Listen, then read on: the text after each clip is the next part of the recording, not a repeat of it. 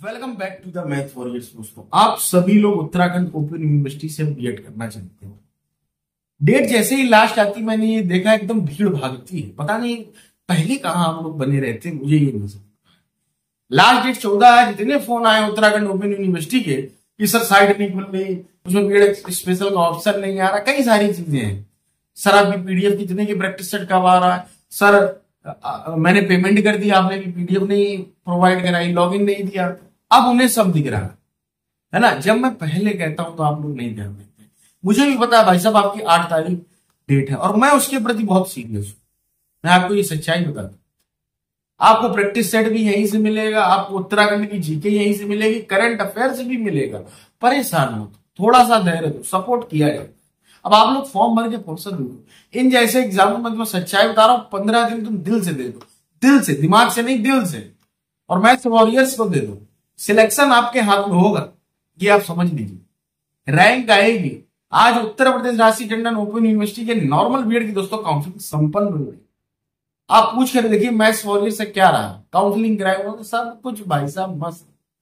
है ना? कॉलेज मिल गया कुछ तो हमारे पास ही आ गए कानपुर मुलाकात भी होती है। और मुलाकात इन सेंस अभी तो हो ही नहीं पाएगी, सब इधर उधर आते हैं। सीधे प्रैक्टिकल वाले दिन मिलता हूँ, जब सारे बच्चे उपस्थित होते हैं, वहाँ हम भी उपस्थित होते हैं और सभी से मुलाकात होती है और प्रैक्टिकल में जो भी हो सकता है वो छोटी सर से बोल दिया जाता है, हो जाता है। तो उत्तर प्रदेश में अपनी व्यवस्था है और उत्तराखंड में भी ऐसा नहीं कि कुछ नहीं। है ना? तो उत्तराखंड से भी जो लोग करना चाह रहे हैं, करो भाई। ओपन यूनिवर्सिटी बड़ा आसान होती कोई दिक्कत नहीं। कुछ फ़ोटोज़ अगर आप देखें तो पीछे मैं दिखा दूँगा जी राशि टंडन ओपन यूनिवर्सिटी की है। इस तरीके से काउंसलिंग आप माहौल देखिए ये डिस्टेंस सरकार मौजूदा सरकार में उत्तर प्रदेश हो चाहे उत्तराखंड, हर यूनिवर्सिटी का जो है बड़ा ही जो है डेवलपमेंट वो सब चीज़ें हुई है। है ना? तो ओपन यूनिवर्सिटी दोस्तों नॉर्मल बी और बी एड स्पेशल ठीक है? करा रही है। लास्ट फॉर्म इसके बाद सीधे एमपी घोष का ही आएगा या फिर इग्नू का है। इस बात को मैं आपको समझा दू बहुत अच्छे से। तो वो जाकर के आप परचेज कर ले। अभी पहले आप फॉर्म भरें, फिर पीडीएफ परचेज करें, फिर पढ़ाई करें। कोई डाउट हो, नंबर दिख रहा है स्क्रीन पर, पीडीएफ से रिलेटेड कोर्स से रिलेटेड, कुछ भी, आप पूछ सकते हैं, कॉल कर सकते हैं। ठीक है? ये सारी चीज़ें। पहले फॉर्म भरे। एलिजिबिलिटी क्या है दोस्तों? नॉर्मल बीएड के लिए भाई साहब वही एलिजिबिलिटी है।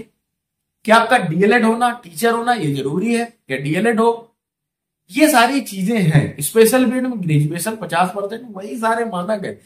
कई बार बता चुका हूँ।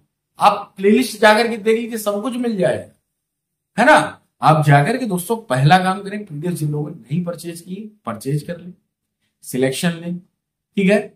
और प्रैक्टिस सेट जल्दी लॉन्च हो जाए, घबराने की भाई साहब ज़रूरत नहीं। भरोसा करने की हमारे पास इसमें आप देख रहे हैं एक लाख तैतीस हज़ार लोग जुड़े हैं। भरोसा ही है।